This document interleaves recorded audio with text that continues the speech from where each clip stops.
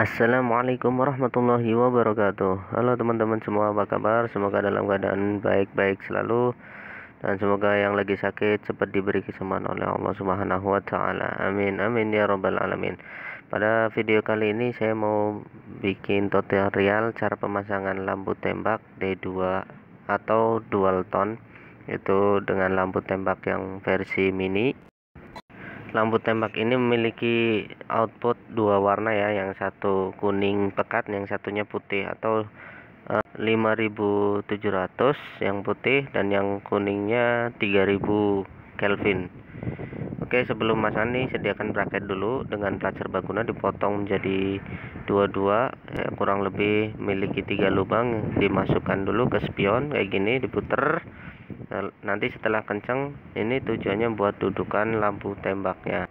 Kebetulan lampu tembak dual tone ini punya satu baut di bawah. Jadi nanti bracket yang di bawah buat di dual tone nya didudukin di sini di bracket ya atau di plat serbaguna ini. Karena dia bracketnya cuman bracket buat uh, nopang lampu aja untuk buat uh, duduk di spion atau buat di stang itu enggak ada. Jadi kita bikin sendiri nanti baut baut apa namanya baut yang dari bracket lampu tembaknya nanti kita masukin ke plat serbaguna ini.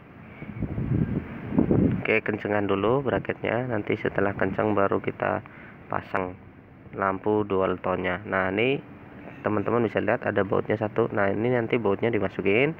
Ya setelah masukin baru murnya kita pasang dikencangkan untuk uh, ini lampu tembaknya yang warna putih saya pasang buat lampu tembak dan untuk yang kuningnya buat lampu dekat.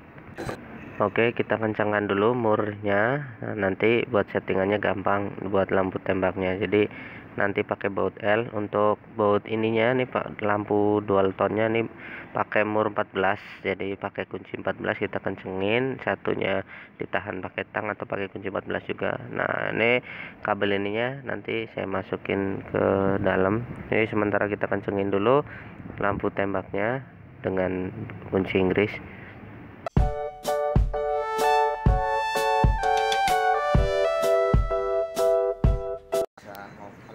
ini hasilnya setelah kita pasang ini kurang lebih penampakannya kayak gini pakai bracket dengan plat serbaguna dipotong-potong. Nah untuk lampu tembaknya duduknya seperti ini. Sekarang kita pasang yang sebelah kiri sama ya dengan bracket uh, serbaguna juga dipotong-potong sama persis ukurannya dengan yang sebelah kanan. Nanti dimasukkan ke spion dulu. Nah setelah dimasukkan ke spion bracketnya baru kita kencengin. Oke kita masukin bracketnya. Lalu setelah kita masukin baru kita kencengin. Sama ya caranya kayak di sebelah kanan. Setelah kita kenceng nanti uh, mur 14 atau baut 14 nya yang punya dual tone nya atau D2 nya kita masukin ke lubang bracket atau lubang plat ke lubang plat serbagunanya sementara kita kencengin dulu uh, baut spionnya mur spionnya.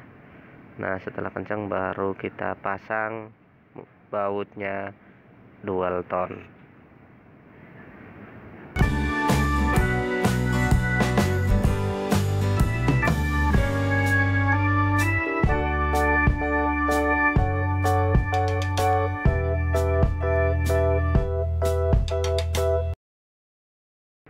Oke lampu tembaknya sudah terpasang. Bagian sekarang kita bongkar reflektornya untuk nyambung atau ngonek kabel lampu tembak MT24 nya ya.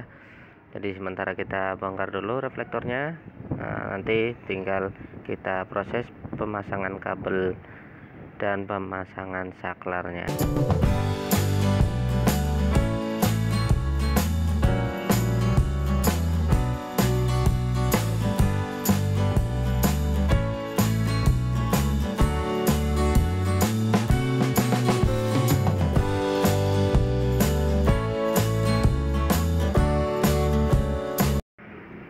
Oke kabel lampu tembak MT24 nya diselusupin dimasukin ke dalam ini batok lampu ya supaya enggak apa sih namanya pating klewer apa apa namanya. Dimasukin ke sini di lubang-lubang batok lampu dikumpulin semua sama kabel-kabel yang lainnya.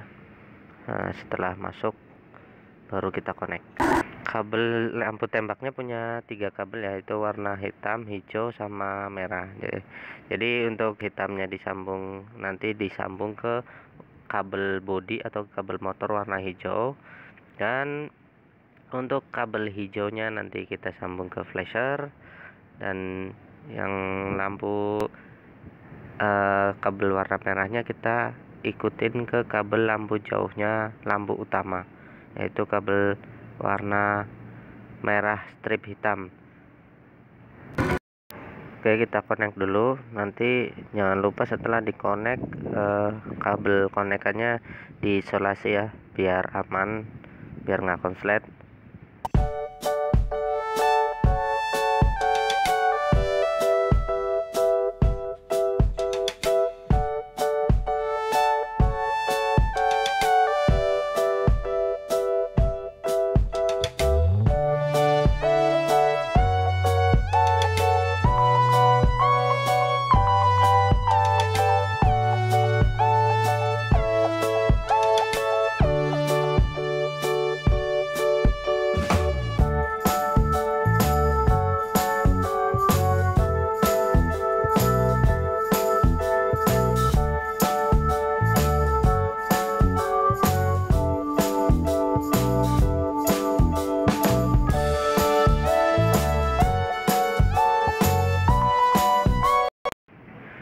ini hasil sambungannya.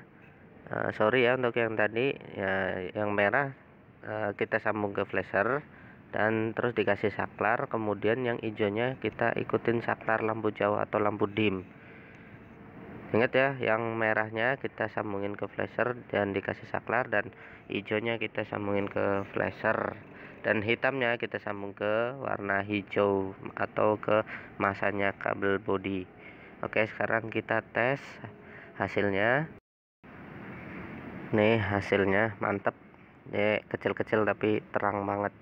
Ini untuk cahaya hasil dua lampu ya untuk yang atas.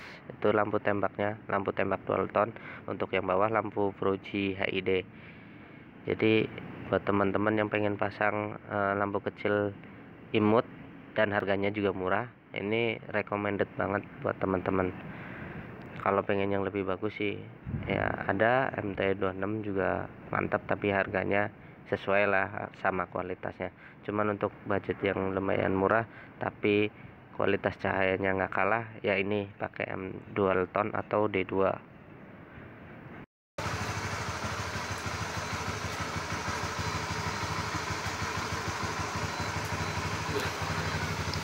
edan nah ini pemasangan lampu bawah juga lampu tembak di bawah.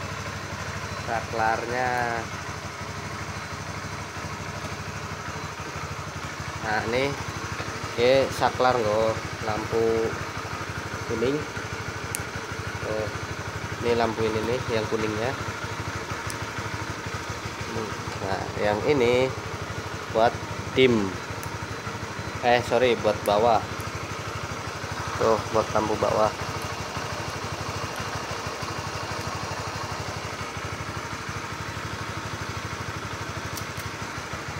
nah untuk lampu yang putihnya lampu tembak yang ini ikut pakai dim oh. oke okay. oh kan jelas kan